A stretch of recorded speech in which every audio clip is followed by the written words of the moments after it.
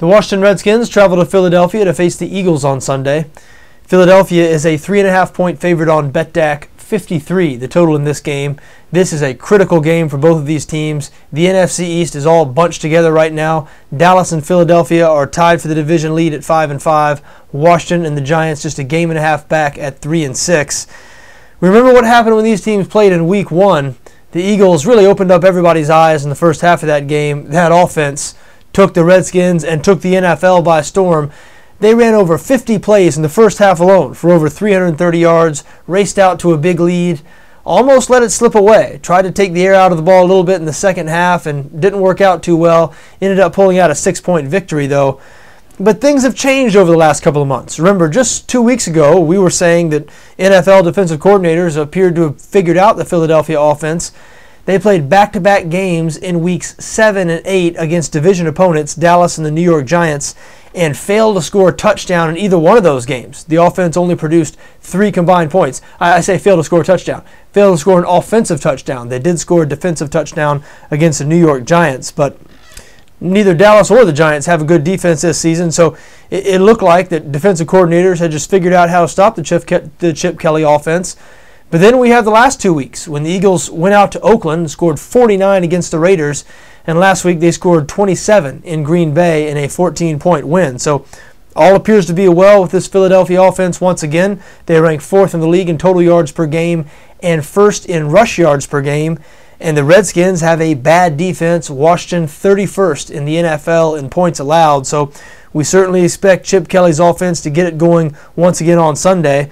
But will they be able to stop the Redskins? Philadelphia 31st in the NFL, next to last in total defense, meaning yards allowed, also 31st in passing defense. And Washington has been getting their offense going over the last few weeks. Now, I still don't think the Redskins' offense is quite as good as the numbers would indicate. They have racked up a lot of their yardage in the second half of games, and in some cases, they've been well behind in those games. But they do have a good offense, one of the best 8 to 10 offenses in the NFL and they should pose problems for this Philadelphia defense that, again, has had a lot of problems this season. However, that Philadelphia defense has improved over the last month. You know, week after week, we keep talking about this defense like it's one of the very worst in the NFL because statistically they are very, one of the very worst in the NFL. Again, next to last in total defense and pass defense. But you look at their last six games, they've held six straight opponents to 21 points or fewer, really playing a lot better on that side of the ball. They're playing especially good against the run. And the Washington Redskins, they, they based their offense around the running game. So I think the Philly defense could have some success in this game, maybe more success than they had back in week one. And I do like the Eagles in this spot. Now, I recognize that the Eagles are an inconsistent team, a little unpredictable.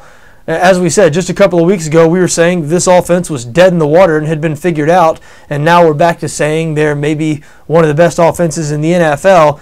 Uh, so they can be hot and cold, and they have been bad at home this season. Philadelphia has yet to win at home this season, so that might be enough to scare me off here. It might be enough to uh, have me not include this among my best bets. However, I, don't think Washington's that tough to figure out. I think they're just bad. The Redskins have lost twice as many games as they've won. They really don't have too many impressive wins. Of course, they don't have too many wins at all. They've only won three games.